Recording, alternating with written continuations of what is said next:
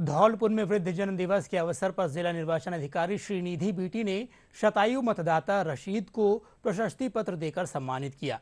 इस दौरान विभाग के अधिकारी और परिजन मौजूद रहे। जिला निर्वाचन अधिकारी ने बताया कि पिछले चुनाव में रशीद ने होम वोटिंग के बजाय बूथ पर जाकर मतदान किया और मतदान अवश्य करने का संदेश भी दिया। माननीय मुख्य निर्वाचन अधिकारी महोदय के जो संदेश है, उनको दिया उनसे, उनके परिवारजनों से बातचीत की।